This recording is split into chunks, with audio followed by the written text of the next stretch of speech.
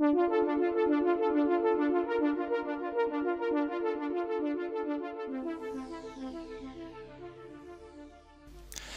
we now have a new tooltip markup which allows you to, to display um, and create richer um, and more intelligent tooltips. So a good example is here for the topology pens. This has been redone.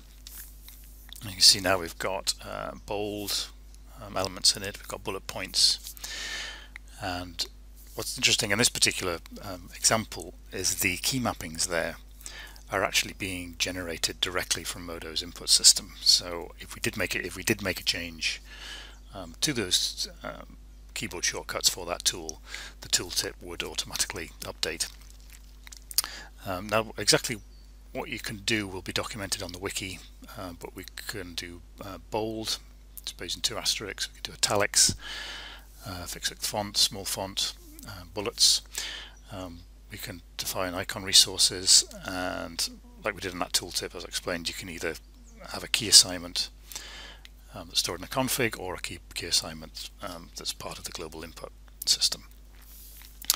Um, now this is obviously good internally when we're creating tooltips for tools that already exist, but with the new uh, workbench system in 12.2 where we're kind of encouraging people to make new tools in Modo, um, this will allow them to create more, you know, more interesting tooltips. So for example, if I right click on this and add a tooltip. So I'll make it uh, bold.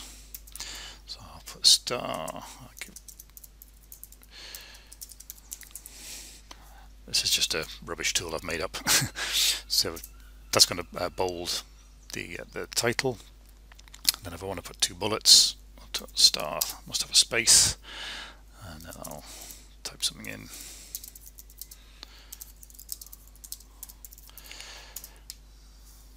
and then we'll do another one.